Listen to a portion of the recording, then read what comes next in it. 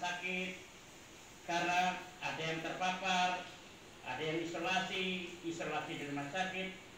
Namun kami optimis bahwa kesulitan akan berlalu. Saudara, banyak pesan yang bisa dipilih, banyak pesan yang bisa diambil dalam suasana Natal ini. Saya ingin sampaikan, apakah arti kehidupan nyata saat ini? Inilah kehidupan